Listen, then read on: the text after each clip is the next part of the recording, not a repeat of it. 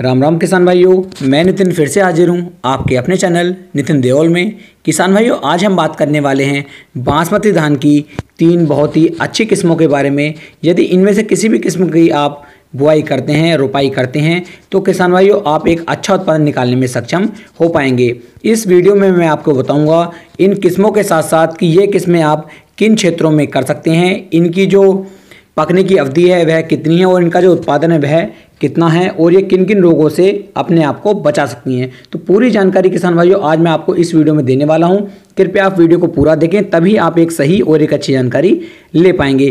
किसान भाइयों, जितनी अच्छी किस्म का आप चयन करेंगे, उतना ही ज़्यादा उत्पादन किसान भाइयों आप धान की फ़सल से निकाल सकते हैं। तो किसान भाइयों, शुरू करते हैं आज का अपना टॉपिक बासमती धान की तीन उन्नत किस्में कौन कौन सी हैं? किसान भाइयों, इनके साथ साथ मैं आपको एक और धान की किस्म के बारे में बताऊँगा, यानी कुल मिलाकर के आज मैं आपको चार किस्मों के बारे में बताने वाला हूँ। तो किसान भाइयों, पहली जो हमारी किस है, किस्म है, वह है पूसा बासमती सत्रह अट्ठाईस। किसान भाइयों, ये एक ऐसी वैरायटी है जिसे आप पंजाब, हरियाणा, उत्तराखंड, पश्चिमी उत्तर प्रदेश, इन सभी राज्यों में आप अच्छी तरीके से इनकी जो है रोपाई कर सकते हैं और बहुत अच्छा उत्पादन आप यहाँ से निकाल सकते हैं। किसान भाइयों, ये पकने में लगभग 140 से लेकर के 145 दिन का समय लेती है।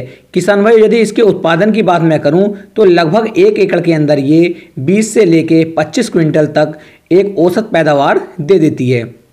किसान भाइयों, ये किस्म जो लीफ ब्लाइट हमारा रोग होता है, इसके प्रतिरोधी ये हमारी किस्म है, इस किस्म के अंदर लीफ ब्लाइट रोग नहीं लग पाता है। तो किसान भाइयों, ये थी हमारी पहली किस्म। अब बात कर लेते हैं हम दूसरी किस्म के बारे में। भाइयों, दूसरी किस्म है हमारी पूसा बासमती सोलह सैंतीस। किसान भाई ये जो हमारी किस्म है, ये पंजाब, हरियाणा, उत्तराखंड, पश्चिमी उत्तर प्रदेश, दिल्ली के लिए बहुत ही उपयुक्त हमारी ये अच्छी किस्म है। यदि बात करें इसके पकने की तो किसान भाई ये 130 दिन के अंदर पक करके तैयार हो जाती है। किसान भाई इसका यदि उत्पादन की बात देखी जाए तो यह भी लगभग 20 से लेकर 22 कुंटल प्रति एकड़ के हिसाब से अच्छा उत्पादन निकालने में सक्षम हो पाई है। किसान भाइयों, इस किस्म के अंदर जो है, बिलास्ट रोग इस किस्म के अंदर नहीं लग पाता, जो इस किस्म की बहुत ही अच्छी गुणवत्ता के बारे में दर्शाता है। किसान भाइयों, अगली जो हमारी किस्म है यानी कि नंबर तीन पर जो हमारी किस्म है वह है पूसा ग्यारह इक्कीस। किसान भाई, ये सभी जितने भी हमारे स्टेट होते हैं, जहाँ पर भी हम धान की फ़सल की बुआई करते हैं वह सभी राज्यों में आप इसकी जो है रोपाई कर सकते हैं, इसकी बुआई आप कर सकते हैं। इसकी यदि मैं उत्पादन की किसान भाइयों बात करूँ तो इसका उत्पादन लगभग 20 से लेकर 22 कुंटल प्रति एकड़ तक के सभी किसान भाई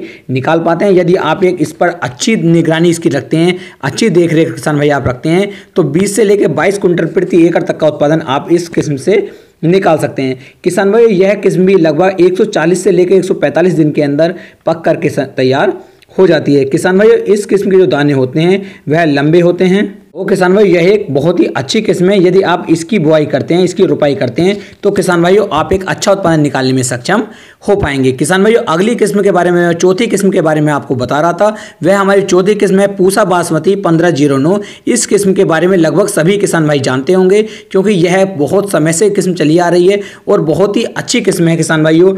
इस किस्म के बारे में यदि मैं बात करूँ तो यह हरियाणा, पंजाब, पश्चिमी उत्तर प्रदेश और बासमती चावल जहाँ जहाँ पर उगाए जाते हैं, वहाँ सभी जगहों पर, उन सभी एरियो में बासमती पंद्रह ज़ीरो नौ को आप उगा सकते हैं। यह बहुत ही अच्छी किस्म है और किसान भाई, इसके यदि उत्पादन की बात मैं करूँ तो इसका उत्पादन भी लगभग 20 से लेकर 25 कुंटल प्रति एकड़ तक इसका उत्पादन किसान भाइयों आप निकाल सकते हैं। किसान भाइयों, ये इस वैरायटी की सबसे बड़ी खास बात यह है कि ये वैरायटी गिरती नहीं है, गिरने में इस वैरायटी को काफ़ी लंबा समय लगता है, ये वैरायटी गिरती नहीं है और किसान भाइयों, ये झड़ती भी नहीं है। यानी कि इसके दाने अपने आप टूट टूट कर नीचे नहीं गिरते हैं। काफ़ी अच्छी वैरायटी किसान भाइयों, ये है। और किसान भाइयों, ये किस्म जो है हमारी लगभग एक सौ पंद्रह दिन के अंदर पक कर के तैयार हो जाती है। यानी कि किसान भाई, जो हमारी ग्यारह इक्कीस हमारी किस्म होती है। इस किस्म के मुकाबले यह एक महीना पहले ही पककर तैयार हो जाती है। और किसान भाई, इसका जो चावल होता है, यह खाने में भी बहुत ही स्वादिष्ट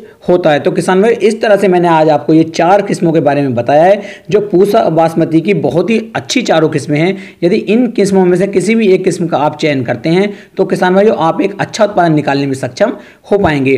तो उम्मीद है किसान भाइयों, आपको मेरी जानकारी काफ़ी पसंद आई होगी। यदि इससे संबंधित कुछ और जानकारी आपको चाहिए तो आप मुझे कमेंट कर सकते सकते हैं। मैं कोशिश करूँगा आपको सही और एक अच्छी जानकारी देने की। तो किसान भाइयों, फिर मिलेंगे एक नई वीडियो में। तब तक के लिए राम राम जी।